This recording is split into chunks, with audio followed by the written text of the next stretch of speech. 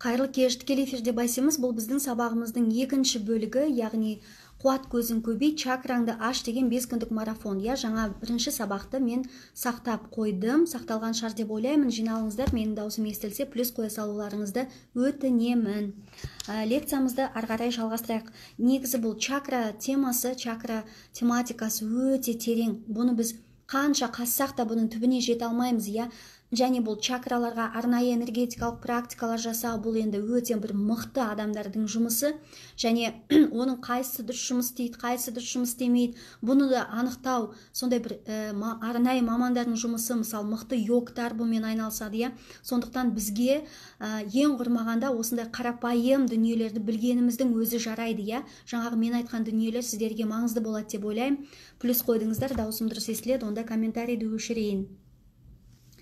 嗯 біз ә, жаңа аджна чакрасына келдік. Аджна чакрасы бұл үшінші көз деп айттым. Иә яғни адамның ә, назары назары мықты болса назары шашыраңқы сондай бір ә, сондай дел сал күйде жүрмейтін адамдар бұл аджна чакрасы өте мықты дамыған адамдар. Яғни кейде олардан бір нұр, нұр төгіліп тұрғандай болады. Сондай бір сезімде көрсеңіздер бір адамдардың жүздері нұрланып тұрады ғой. Вот сондай адамдарда аджна чакрасы өте ә, мықты дамыған адамдар бұл ә, бұндай деңгейде аджна чакрасының жақсы жұмыс істеуі мысалы көптеген адам көрмейтін нәрселерді көреді бұндай адамдар. Сондай детальдар болады ғой соларды көреді. Ұсақ түйектерге дейін мән береді иә. Соларды да көреді. Мысалы бұл адамдар табиғатта құбылысқа барлық нәрселерге құбылыстарға өте қатты мән беретін сондай бір өзі сана деңгейі өте жоғары деңгейдегі адамдар және интуициялары күшті. Сондай ақ экстрасенсорлық қасиеттері өте мықты дамыған адамдар. Сондай ақ бұл осы аджна чакрасы деңгейінде адамда магиялық қабілеттер өте мықты дамиды екен. Негізі бұл магия деген жаман жағынан емес жақсы жағынан ойлаңыздар. Иә өйткені кейбір адамдар болады өздері сондай волшебство дейді ғой иә сондай сиқыр сиқыр бұл сиқырды біз қазір негативті емес позитивті жағынан алайықшы иә? Мысалы біздің өмірімізде барлығы біз ойлағаннан керемет керемет керемет бола берсе онда бұл өзі сиқыр не, демей немене иә? Бұл магия иә? Менің мысалы әйел магиясы деген лекциям бар иә? Сол сияқты бұл магия. Сіз тамақ істесеңіз де бәрі дәмді болады. Үй жинасаңыз да адамдармен сөйлесеңіз де сіздің айналаңызда адамдар сондай өте күшті энергия алады. Сіздің энергетикалық деңгейіңіз сондай бір керемет гүлгүлдеп бүлпүлдеп ә, сондай болып тұрады да энергия. Магия дегеніміз не? Бұл магия дегеніміз энергияларды басқару өнері. Қараңыздар магия бұл энергияны басқару өнері. Ал энергия қай жаққа ақса а ал егер сіздің вниманияңыз назарыңыз қай жаққа түссе сіздің энергияңыз сол жаққа ағады деген сөз. Қараңыздар иә? Сонда егер біз өзіміздің бойымыздағы бүкіл энергия энергияны бақылай алсақ эмоциямызды бақылай алсақ иә? Ашуға ашу ызаға берілмесек ашу ыза жағдайында болса да эмоцияларымызды бақылай алатын болсақ энергиямызды өзімізде баланста ұстай алатын болсақ онда біз күшті магия жасайтын сондай ғажайып ғажайыптар істей алатын деңгейге жетеміз. Тағы да қайталап айтам магия дегеніміз бұл энергияны басқаратын өнер энергияларды басқаратын өнер. Ал біздің назарымыз қай жақта? Біздің энергиямыз сол жаққа жұмсалады. Яғни сіз күні бойы тек қана жағымсыз ойларды ойлайтын болсаңыз онда сіздің бүкіл энергияңыз сол жаққа аға береді деген сөз. Яғни сіз осы жаман ойларды пайдаланып соны басқару арқылы өзіңіздің өміріңізге жағымсыз ситуацияларды өзіңіз жасайсыз. Өз қолыңызбен жасайсыз. Ана сиқырлы таяқша сияқты сіз өзіңіздің миыңызбен жасайсыз иә? Сол себептен қандай бір іс істеп жатқан кезде өзіңіздің назарыңыз тура сол жақта ма жоқ әлде басқа жақта ма? Осыған анализ жасаңыздар иә? Үй жинап жатқанда әйел адамдар пол жуып жатқан еден жуып жатқанда ыдыс жуып жатқанда біреумен сөйлесіп жатқанда сіз адамды тыңдай аласыз ба? Адамның сөзін өзіңізге қабылдай аласыз ба? Иә осының барлығына мән беру керек. Сосын рухани практикалар дұғалар жасап жатқанда иә сіздің назарыңыз қай жақта? Сіздің назарыңыз басқа жаққа ауып кетті ма? Жоқ әлде сіздің назарыңыз тек қана сол дұғалардағы қасиетті вибрация мықты сөздерде ма? Иә осыған да мән беріңіз. Яғни сіз өзіңіздің энергияңызбен ә, басқара алсаңыз онда сіз мықты магсыз иә? Яғни сіздің өзіңіздің энергияңызды басқара аласыз яғни өзіңіздің назарыңызды да қай жаққа аударамын дейсіз сол жаққа аудара аласыз. Яғни сіз энергияңызды сол жаққа аудара аласыз. Мысалы өзіңіздің бір мақсатты күйттедіңіз ба сол мақсатқа сіз бүкіл энергияңызды аудара аласыз. Және оны күшті қылып жасай аласыз деген сөз иә? Ары қарай кеттік. аджна чакрасын дамыту үшін қазір біз жаңағыдай жаттығу жасаймыз. Енді келесі келесі бұл сахасрара деген чакра. Бұл біздің аджна мына жерде болса сахасрара мына жерде болады шамамен. Иә басымыздың төбесінде.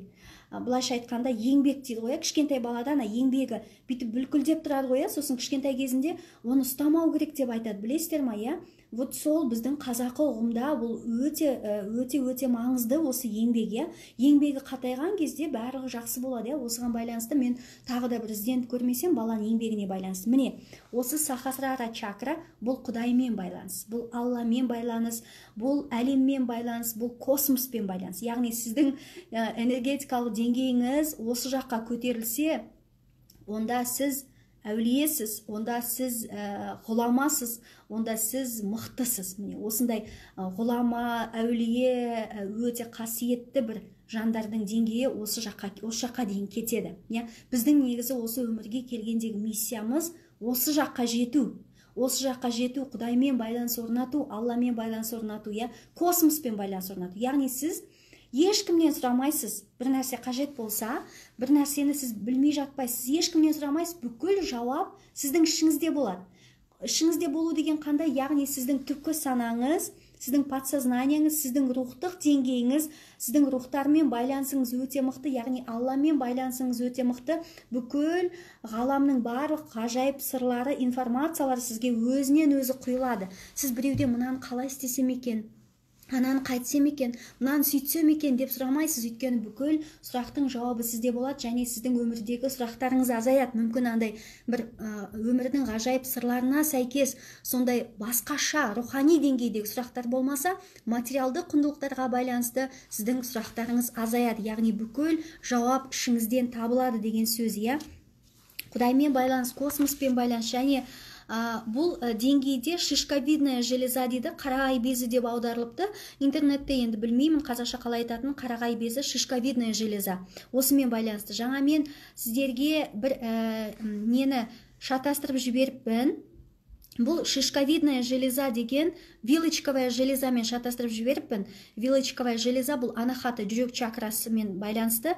Ә, шишковидная железа бұл жаңа сахасрарамен байланысты. Яғни бұл ә, шишковидная железа деген біздің миымыздың терең бөлігінде орналасқан орналасқан екен. Енді бұны сіздер өздеріңіз ізденіп тауып аласыздар деп ойлаймын. Бұл без ә, бізге қаншалықты әсер етеді? Бұл безге ә, бұл без бізге қаншалықты маңызды иә? Енді сахасрара чакрасындағы адамдар сіздер мысалы христиандық шіркеуге барсаңыздар ә, көп суреттер салынған кезде ана өздерінің әулиелерінің басында осындай нимб тұрады осындай бір айналып бұлт деп аталады бұл иә бұлт деген мағынаны білдіреді осындай аппақ бір сондай бұлт сияқты дүние. Осы сахасрара чакрасының деңгейін білдіреді яғни ол адамның деңгейі сондай бір жоғары деңгейге көтерілгенін білдіреді. Ә, сахасрара чакрасы мықты дамыған адамның қоршаған ортамен гармониясы күшті әлеммен гармониясы күшті айналасындағы адамдармен гармониясы күшті. Бүкіл жан жануар жәндіктермен космоспен байланысы күшті иә жаңа айттым сіздерге. Барлығын барлығын бүкіл байланысты сезінеді екен. Ә, содан кейін қаланың ішінде біз көбінесе бұл чакраның мықты қалай жұмыс істейтінін сезіне алмайды екенбіз. Бұл байланысты. Яғни бұл байланысты сезіну үшін бізге айдалаға кету керек. Яғни табиғат тұмса табиғатқа кету керек. Ағып жатқан су өзен бұлақ көл ә, мұхит ә, теңіз иә? Осы осылардың жағасында орманның іші тау. Міне осы жерде біздің сахасрара чакрамызды мықты жұмыс етуге дамытуға мүмкіндік бол мол және біз сол кезде байланысты өте жақсы сезінеді екенбіз біз тек қана дене емес біздің рух екенімізді құдаймен байланысты табиғатпен байланысты иә? Өте мықты сезінеді екенбіз сондықтан карантин біткен соң бәріміз тау тасты аралаймыз деп ойлаймын. Құдай қаласа иә? Енді егер біз тек қана ойымызда материалдық дүние болса қымбатты оқырмандарым тек қана ә, үй алу керек үй алдым үлкен үй алу керек одан да үлкен алу керек одан да үлкен алу керек машина алдым одан да одан да одан да киім алдым тағы да тағы да тағы да. Тек қана материалдық құндылықтар ғана бізді мазалайтын болса онда біздегі анахата чакра вишудха чакра және біздегі мына ең бастысы сахасрара чакра ең жоғарғы чакра бұл дамымайды екен. Бұл бұл жақта бізде блок болады иә? Яғни біз көп нәрселер түсінбейміз. Қанша материалдық дүниені ә, ала беретін болсақ та біз оның біз одан қанағат сезімін аламыз иә біраз уақыт бірақ та біраз уақыттан кейін ол өшеді тағы да бір нәрсені алғымыз келеді. Тағы да тағы да тағы да тағы да. Сөйтіп біз өзімізді қалай қанағаттандыруды білмейміз да. Ә, кейде адамдар айтады да өзіме не керек не керек емес екенін білмей қалдым маған ештеңе маңызды емес ештеңе қызық емес дейді. Яғни бұл материалдық ә, нәрсеге тәуелділік иә. Ә, адам қандай да бір өзінің интуициясымен сол жоғары қарай ұмтылғысы келеді барғысы келеді бірақ та білмейді да соны. Сондықтан да біз өзімізді дамыту арқылы ілім алу арқылы және рухани практика арқылы осы чакраларды біртіндеп біртіндеп дамытамыз. Сондықтан егер біздің ә, егер біздің муладхара чакрасы дамымаса онда басқа чакра да дамымайды. Барлығы бір бірімен тығыз байланысты. Ал егер біз материалдық дүниеге ғана құнығып кетсек онда біз рухани дүниені ә, игере алмаймыз. Және біз ә, адамдарға деген тәуелділіктен құтылмасақ ә, дүниеге деген тәуелділіктен құтылмасақ онда біз ә, мына жүрек жағына да бойлай алмаймыз. Яғни біздің денеміздегі өмірлік энергия жизненная энергия дұрыс жүрмейді деген сөз. Біз ананың басын бір шаламыз мынаның басын бір шаламыз біз ойлаймыз ә, керемет алғанда бақытты болам, күшті қызметке көтерілгенде бақытты болам, ана мемлекетке барғанда бақытты болам, тағы да тағы да тағы да.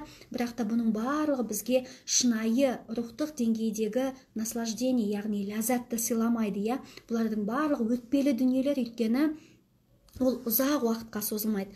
Біздің ұзақ уақытқа созылатын өмірлік энергия бұл біздегі рухани энергия. Дегенмен де ә, менің сөзімді басқаша ұғып қалмаңыздар. Біздің рухани деңгейімізді энергетикалық деңгейімізді көтеру үшін де бізге материя, материямен байланысты үзбеу маңызды өте. Материалдық құндылықтарында болғаны өте маңызды. Дегенмен де тәуелділіктен құтылу керек. Ә, менің телеграмыма құятын мультфильмнен сіздер соны жақсылап көресіздер. Енді ары қарай кеттік. Блок мен жаңа блок туралы айттым. Блок дегеніміз ә, чакралардағы блок бұл мүлдем энергия жоқ дегенді білдірмейді. Тек қана энергия тежелген айналу үрдісі тежелген дегенді білдіреді. Сондықтан бұдан шошынбай ақ қояйық. Егер біздің қандай да бір жаңа жеті чакрамыздың бірінде энергия мүлдем болмаса онда бұл адам онда адам өліп кетеді деген сөз екен яғни энергия бұл маңызды иә? Ә, ары қарай кеттік. Енді энергия қалай жүреді? Энергия адам денесінен төменнен жоғары қарай көтеріледі. Ал бізде ә, қандай да бір төменгі жақтағы чакраларымызда энергия жетпеген кезде өміріміздің басқа бір салаларында иә онда біз мына жоғарыдан төмен қарай энергияны шығындайды екенбіз. Яғни жоғарыдан төмен қарай түседі энергия сол кезде біздің мына жүрек чакрасы іш чакрасы иә үшінші көз ә, төмен жақтағы чакра осы жақтан қалған құтқан энергияның барлығын сыпырып сиырып сол өміріміздегі бір салаларға жұмсалады. Сондықтан осыған мән беру керек энергияның баланста болуына. Яғни ә, біз ең төменгі чакрамызда блок болса төменгі чакра муладхарада блок болса онда біз анахата чакрасының деңгейіне көтеріле алмаймыз ол жақты дамыта алмаймыз. Қараңыздар барлығы бір бірімен тығыз байланысты. Муладхара чакрасын дамымаса онда біз мына жаққа көтеріле алмаймыз. Бұл чакра кәдімгі баспалдақ сияқты. Біз мысалы баспалдақ болмаса оныншы этажға көтеріле алмаймыз ғой лифт болмаса иә? Сол сияқты бұл лифт сияқты баспалдақ сияқты. Сол баспалдақ арқылы муладхара свахистана ә, манипура сөйтіп сөйтіп сөйтіп сөйтіп сөйтіп сөйтіп келіп жоғары жаққа көтерілеміз иә? Мына жақ дамымай жатып мына жаққа көтеріле алмаймыз.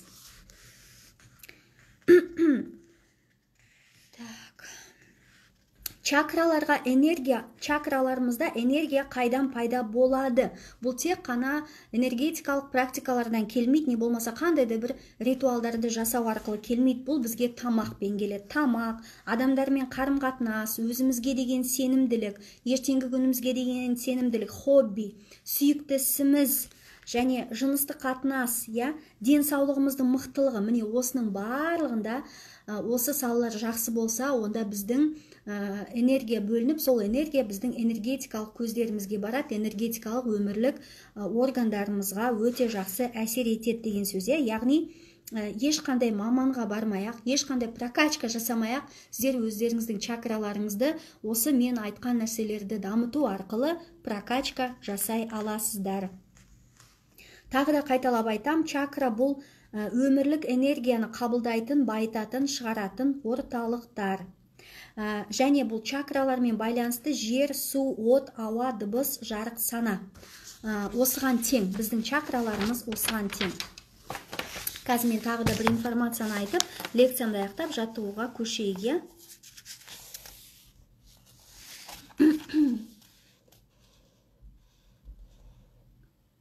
Қараңыздаршы егер біз тек қана жұмысқа мән беретін болсақ иә онда біздің басқа чакрамыз ә, іскерлік чакрамыз ғана дамыған болса онда біздің жүрек чакрамыз ә, біраз ақау ә, ақауға ұрынады да. Сондықтан біз барлық өміріміздің барлық саласын бірдей дамытуымыз керек екен. Яғни өміріміздің барлық саласына бірдей көңіл бөлуіміз керек. Жеке өмірімізге де. Материалдық құндылықтарға да рухани дүниеге де физикалық денемізге де иә яғни жаттығуларға да сондай ақ біздің жермен байланысымыз яғни заземление иә жермен байланысымызды нығайтуымыз керек. Яғни материядан біз үзіліп қалсақ онда біз рухани дүниеге де жете алмаймыз.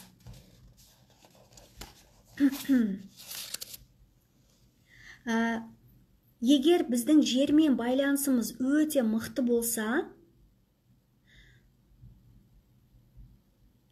егер ә, рухани рухани практикамен жалпы рухани дамумен айналысатын адамдарда жермен байланыс өте мықты болу керек екен. Өйткені бұл өте маңызды элемент иә?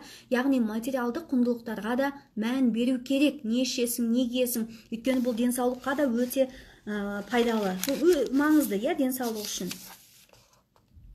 Қараңыздар егер біздегі муладхара чакрасы ашық және ол баланста өте жақсы тұрақты мықты дамыған болса онда біздің денсаулығымыз өте мықты болады. Өте мықты болады және біз ә, жаңағыдай үнемі бүйтіп ұшып жүрмейміз. А не істесем екен а ана не істесем екен мына осындай нәрсе осындай алақұйын сезім бізде болмайды екен. Біз әрдайым қалай істейміз қалай жасаймыз барлық өміріміздің барлық саласында бізде бір тұрақтылық болады екен. Яғни ор, орнықты болады екен барлық саласы. Көрдіңіздер ма сол үшін муладхара чакрасы да бұл өте маңызды. Осы кезде біз өзіміздің идеяларымызды жақсы жүзеге асыра алады екенбіз муладхара чакрасында.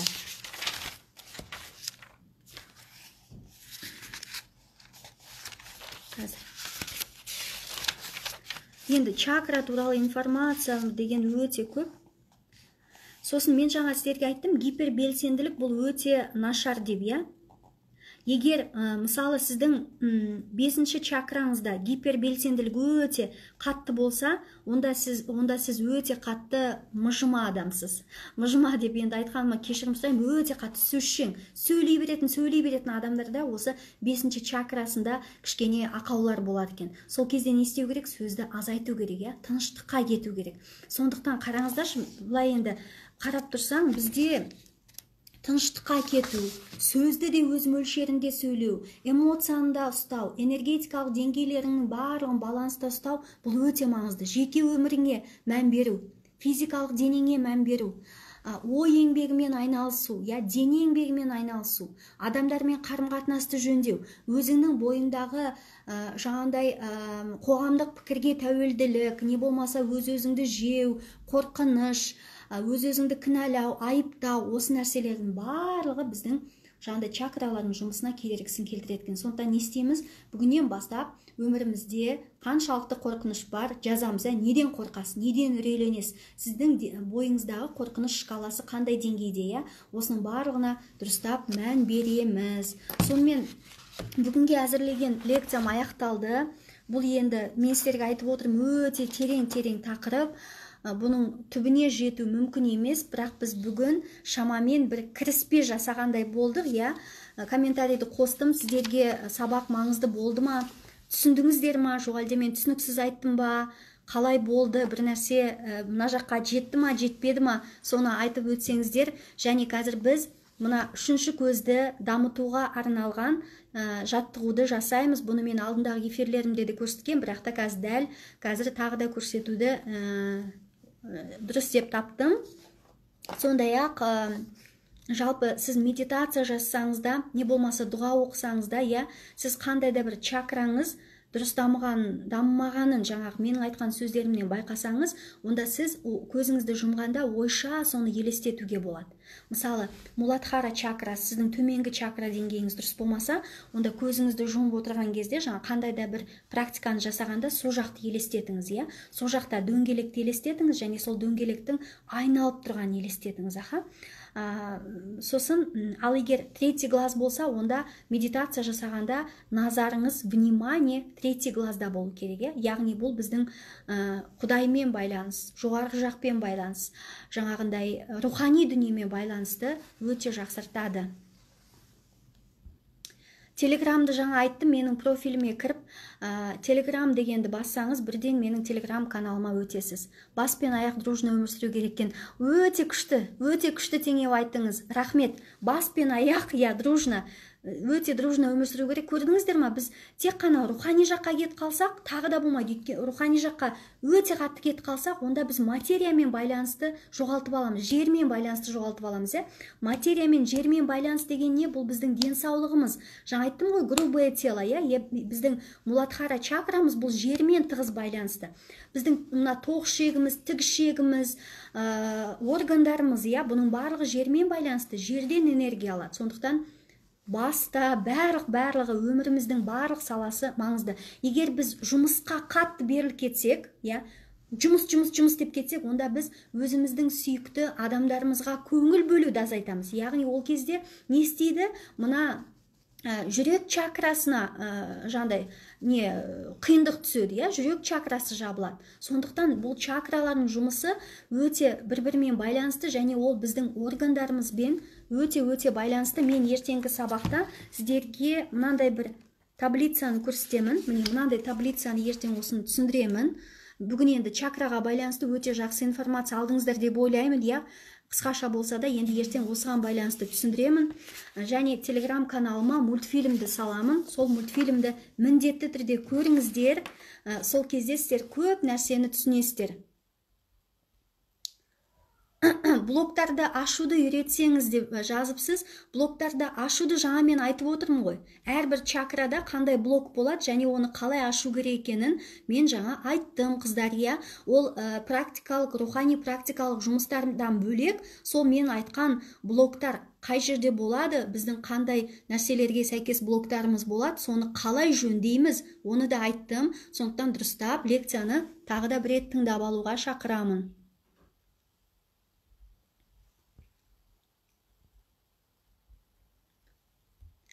Күйеуі қайтыс болғандардың төменгі чакрасы жабық бола ма? Қымбатты оқырмандар бұның бәрін бір бірімен қатты байланыстырмаңыздаршы. Оны, оны ешкім білмейді. Анығын бір алла біледі. Ол оған байланысты емес. Ол сондай тағдыр. Ол алланың басқа жазғаны иә? Қатты үйтіп нетпеңіздер. Давайте бүйтейік комментарийді өшірдім. Қазір мен сіздердің сұрақтарыңызға жауап беремін. Бірінші жаттығуды жасап алайық. Әйтпесе қазір үлгермей қаламыз. Комментарийді сосын комментарийға ә, кезек беремін сұрақтарыңызға жауап беремін. Осы тақырыпқа байланысты. Так бұл үшін ә, үшінші көзді үшінші чакраны яғни ә, аджна чакрамыз ғой иә аджна ме еді анахата жүрек аджна иә? Аджна интуиция. Интуициясы мықты дамыған адамдар третий глаз. Бәрі айтады ғой үшінші көзімді ашып берші деп. Мынандай бір мысал бар. Бір адам бір данагөйді іздеп тау тасты аралап өте ұзақ жол жүріп арып ашып сөйтіп жетіпті дейді бір үңгірге. Содан жаңағыдай ә, керемет бақытты өмір сүрудің құпиясын сұрауға үшінші көзімді қалай ашам? Бүкіл әлемнің ғаламның сырларын қалай ұғынам? Космосқа қалай қосылам? Құдаймен байланысты қалай орнатам? Жалпы бүкіл әлемдегі адам білмейтін нәрселердің барлығына қалай жаңағыдай үшінші көзімді ашып ә, жете аламын деген сұрақтарды қояйын деп үңгірге келіпті. Үңгірде тағы да отырыпты. Ол жаңағыдай мудрец иә? Данагөй ақылшы дейміз ба? Шықпапты. Сонымен күндердің бір күнінде отырып отырып жаңа кісі шығыпты үлкен қария кісі не үшін келдің? деп сұрапты. Сосын айтыпты жаңағы жігіт. Ә, мен ә, бақытты болудың құпиясын білгім келеді. Үшінші көзімді ашып ашқым келеді. Қалай ашам? Бүкіл әлемнің сырларын білгім келеді. Бүкіл әлемнің құпиясын білгім келеді. Адамдардың жаңағындай ә, жүрегіне ә, жол тапқым келеді. Ғаламдық информацияларды иә біздің сөзбен айтсақ соны білгім келеді. Жаңағы байлықтың құпиясы енді бәрі ашылады ғой. Сосын жаңағы данагөй оған айтыпты. Егер оны білгің келсе үшінші көзіңді ашқың келсе онда дәл қазіргі уақыттан бастап бүгіннен бастап ақ маймыл туралы ойлама депті бұны менің сабағыма стоп стресс сабағына қатысқан оқырмандарым біледі. Содан бастап жаңағы жігіт ой рахмет сол ақ па мен соншама жол жүріп сонда естігенім осы ақ па? деп шағымданып сөйтіп кетіп бара жатты. Содан бастап ол жігіттің ойынан ақ маймылдар туралы ой кетпей қойыпты. Түсіндіңіздер ма примерно? Приблизительно түсіндік иә? Мен сіздерге жаңа ақ маймыл дегенде сіздердің көз алдарыңызға ақ маймыл елестеді иә? Ақ маймыл елестемесе де мына жақта бір ақ маймылдар пайда болды. Сондықтан қымбатты оқырмандарым егер ғаламның сырларын ұққыларыңыз келсе шынымен бүкіл чакраны жұмыс істетіп сондай осознанность саналы деңгейге рухани деңгейге жеткілеріңіз келсе онда бүгіннен бастап ақ маймыл туралы ойламаймыз иә? Түсіндіңіздер иә? Ақ маймыл деген не екенін түсінсеңіздер маған жазып жіберіңіздер. Ә, комментарийдің астына жазасыздар иә құдай қаласа постқа ал енді үшінші көзге арналған жаттығу. Күнделікті таңертең орындаған өте өте жақсы. Таңертең мүмкіндік болмаса күніңіздің қай кезінде болса да жасағаныңыз өте өте пайдалы. Демалу жаттығуы және біздің бүкіл мына ішкі монологымызды тоқтатады ішкі ойларымызды тоқтатады. Біз өмір біреумен сөйлесіп жүреміз ғой. Ту неге сол кезде бүйтпедім неге сөйтпедім анау маған бүйтіп айтты мынау сөйтіп айтты анау андай екен мындай екен тамақ істеуім керек қандай тамақ істеймін так бүгін не істесем екен? Карантин қашан бітеді? Толастамайтын ойлар иә ақ маймыл дегеніміз осылар. Ал енді кеттік. Осындай ойларды тоқтату үшін үшінші көзімізді дамыту үшін интуициямызды дамыту үшін біз не істейміз? Біз мына оң қолымызды аламыз бас бармағымызды аламыз және мына екі саусағымызды бүгеміз. Мына саусағымызбен мына бас бармақты ашулы иә? Сөйтеміз да бірінші мына оң жағымызды жабамыз оң жақ мұрынның тесігін жабамыз да сол жақтан сегіз рет терең дем аламыз сегіз рет терең дем аламыз демімізді іште ұстаймыз шығармаймыз. Содан кейін барып мына жақ жабық тұр иә мынаны да жабамыз иә. Сіздерге ыңғайлы болса былай істей беріңіздер иә қалай ыңғайлы? Осылай жабамыз сол кезде назарымызды үшінші көзде ұстаймыз. Яғни екі қастың ортасына сосредотачиваем свое внимание концентрация вниманияны екі қастың ортасына жасаймыз көзіміз жұмылған болу керек иә көзімізді жұмып осы екі ә, екі қастың ортасына назарымызды қоямыз да жаңағыдай демімізді шығармаймыз әлі иә бір сәт солай ұстаймыз. Сосын мына жағымызды ашамыз оң жағымызды ашамыз да оң жағымыздан 16 рет демімізді шығарамыз. Сосын қайтадан сегіз рет демаламыз. Қайтадан жабамыз назарымыз үшінші көзде. Сосын бір, бір біраз сәт ұстаймыз демімізді шығармай. Қайтадан мына жақты ашамыз 16 рет шығарамыз.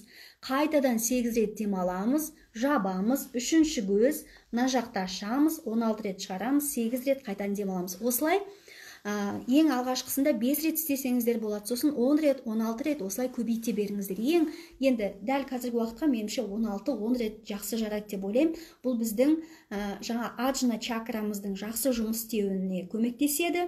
Энергетикалық қуат көзімізді колесомызды иә дөңгелегімізді күшті айналдырады. Сондай ақ біздің интуициямызды дамытады.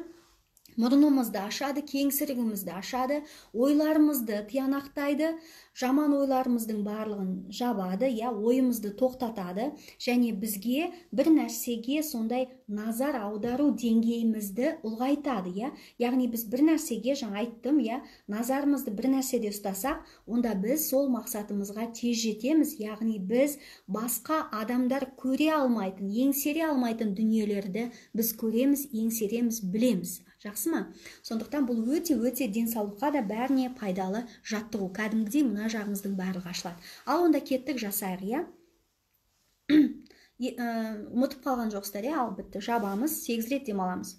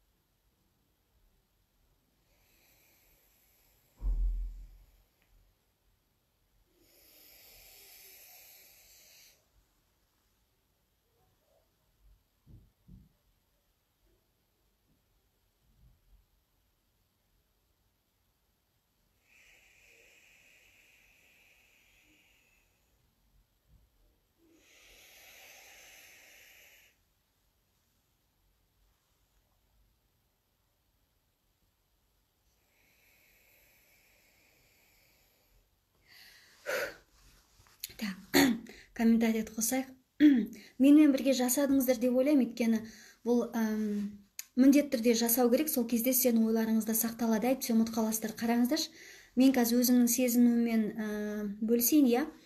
Мұрным ашылды. Даусымның ә, форма даусымның реңі бояуы өзгерген сияқты. Және бір сенімділік қалыптасқан сияқты сондай сондай ақ демалуым өте бір жақсы деңгейге көтерілген сияқты сондай бір керемет энергияны сезіндім. Ә, мүмкін қазір сіздерге білінетін шығар кішкене жүзім бір нұрланған сияқты болған сияқты. Ну енді бір энергия сезініп бір жүзім жарқыраған нәрсеге өткен сияқты енді білмеймін өзіме солай көрініп тұрмын. Бағанағы сабағымды өткізгендегі түрім басқа да қазіргі түрім басқа болып тұр иә. Білмеймін. Мүмкін сіздер қалай ойлайсыздар сіздерде қандай сезім болды ә, соны жазыңыздар. Және бұл мұрынды кеңсірікті барлығын ашады да иә? Көрдіңіздер ма? Ертең тағы да бір жаттығу жасаймыз. Құдай қаласа. Қалай өзгертуге әрекет жасаймыз себебі бұрынғы өмірге қайта түсіп кете береміз де айғайласып қалатын кездер болады жұмыста да және үйде де бір болмайтын заттар үшін. Ә, муладхара чакра деңгейінде өмір сүріп жатсыз. Ертең айтамыз надандық деңгейі. Рухани практика қыздар жаңағы мен айтқан дүниелерімді істеңіздер. Адамдармен қарым қатынасты жақсартуға байланысты мен көп нәрселерді айтып жүрмін иә? Ал мына жаттығуды менімен бірге жасадыңыздар ма? Жүректі миды таза ұстау адамдармен дұрыс қарым қатынас салауатты өмір салты барлығын тең ұстау. Айнұр супер рахмет керемет.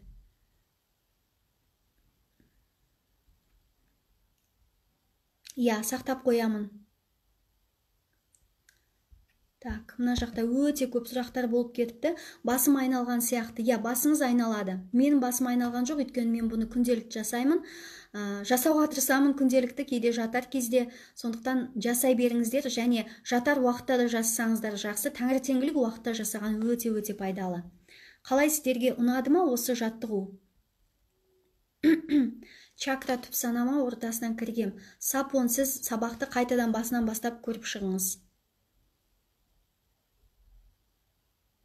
Гайморитпен ауыратындарға бола ма жасауға? Шын айтсам мен нақты білмейді екен бірақ ақырындап жасап көріңіз менің ойымша ешқандай да зияны жоқ. Өйткені бұл демалу ғой.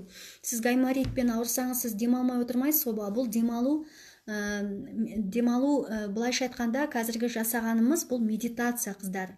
Ә, менің көзім ашылған сияқты дейді. Өте күшті. Жасадым керемет мұрным ашылды. Супер. Өте жақсы. Мультиктің атын барлығын мен телеграм каналға саламын. Сол телеграмнан көресіздер. Мұрын ашылып қалды дейді. Өте қуаныштымын. Осы жаттығу сіздерге аманат. Күнде күнде жасаңыздар. Жүрегім соққандай болды. Міне чакраларды ә, жақсарту дамыту өзіңіздің самочувствиеңізді иә сезінуіңізді жақсарту эмоцияларыңызды ретке келтіру іштегі монологты тоқтату жаман ойлар ағынын тоқтатуға осы медитация өте жақсы көмектеседі. Иә эфир бітейін деп жатыр қымбатты оқырмандарым. Сағат тоғызда бастағанбыз бүгінгі сабақтан қандай да бір түсінік алдыңыздар ма? Ең бастысы мен солай ниеттендім сіздерге қандай да бір жақсы тағылымды информация бергім келіп енді қандай да бір кемшіліктер болса онда кешірім сұраймын. Сегіз или он алты рет жасау керек па? Иә сегіз он не болмаса он алты рет. Бес рет жасасаңыз да әйтеуір күнделікті жасасаңыздар да болады. Мен айттым ғой иә. Кішкентай кішкентай кішкентай қадаммен бірақ күнде күнде күнде жасаймыз иә. Әсіресе осы жаттығу міне сіздерге медитация ретінде өте пайдалы болады деп ойлаймын. Музыканы қойып қойып істесеңіз болады. Не болмаса жаңағыдай музыкасыз істесеңіз болады. Кез келген уақытта да жазсаңыз болады. Сіздің көзі көзіңіз ашылды ғой. Иә көзім ашылған сияқты иә өзім де солай ойладым. Енді келесі сабақта мүмкін сабақтың алдында осындай жаттығу арқылы бастаймыз иә. Ертең мен сіздерге тағы да бір жаттығуды дайындап жатырмын құдай қаласа.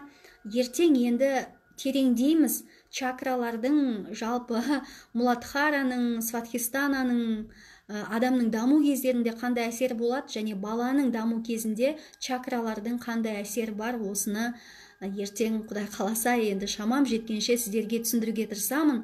Жалпы чакра темасы бұл мен алғаш өз өзімді дамытуда өте өзім қатты қызыққан сондай тема болатын. Өзімнің семинарларымда үнемі айтатынмын.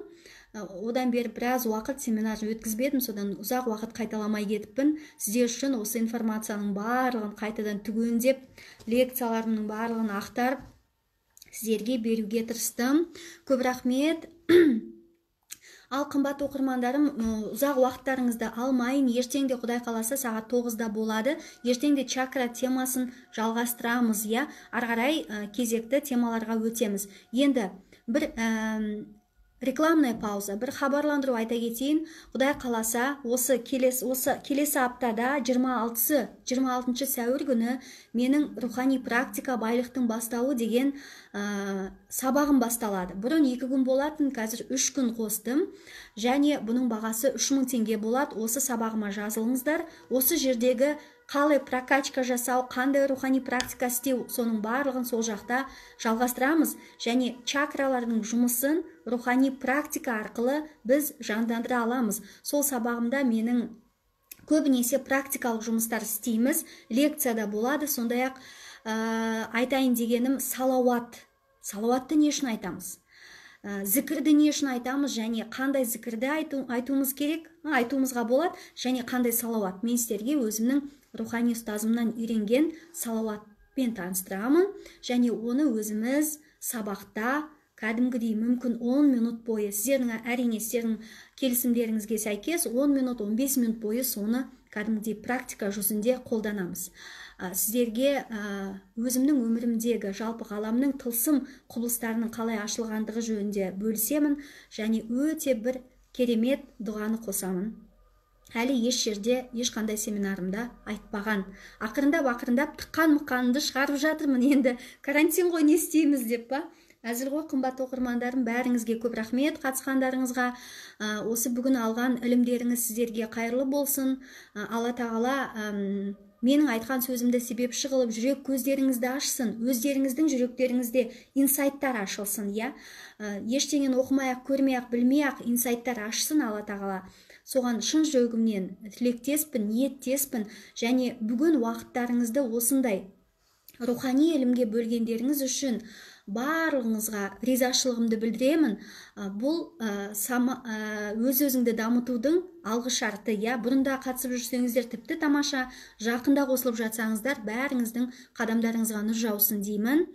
Ә, мен үшін де сіздер үшін де қоғам үшін де осы ілім қайырлы болсын. Әр нәрсенің тек қана жақсы жағын алайық пайдаланайық. Жалпы даналық деген не білесіздер ма? Даналық деген бұл көп нәрсені білу емес. Даналық сол өміріңде үйренген білген нәрселерді практикаға айналдыру яғни өзіңнің өміріңде қолдану дегенді білдіреді иә? Сондықтан осы чакра деңгейінде ертең құдай қаласа даналық қай жаста басталады иә? Сол жаста балаға қалай қарым қатынас жасау керектігін ә, айтамыз. Бәріңізге алланың жаусын көп рахмет. Шын жүректен алғысымды айтамын. Сау болыңыздар. Ертең жолыққанша.